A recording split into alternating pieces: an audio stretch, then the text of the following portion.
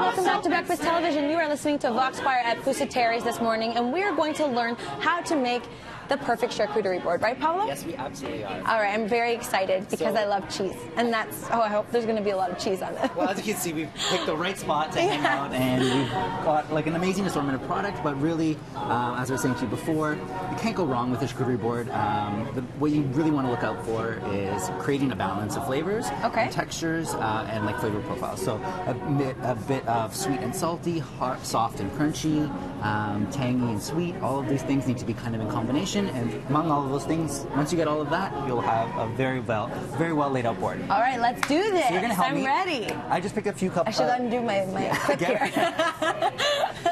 So because it's the holidays, um, people are definitely going to be entertaining more, and the charcuterie board is a great way to open up a dinner. Mm. Yes. Uh, so Start the palate. I picked a couple different cheeses. People like to explore with truffle during the holidays, so I picked two uh, truffle cheeses.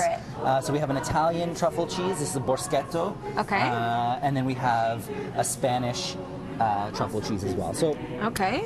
um, what I've done here is um, I've pre-cut some some slices. Uh, Just to like put so it's like easy to pick, right? Exactly.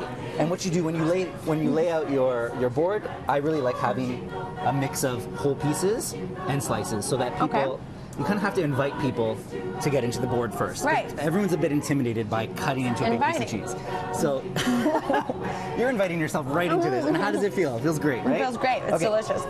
So um, we've Different. got This one's different than this one. Very yeah, different. So the Italian is a lot more mild, I think, right? And uh, the Spanish one gives you a little bit of a different flavor, and also the profile of the, the texture of the cheese is very different.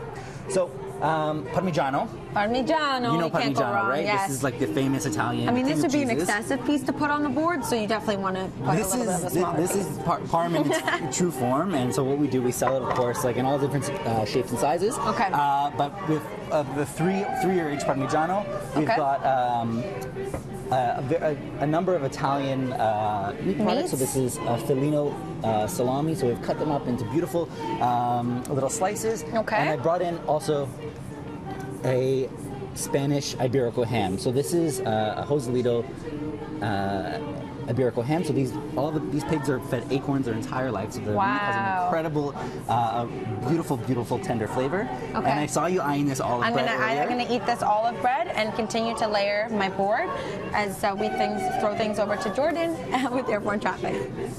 So let me grab some of these really exciting peppadew peppers.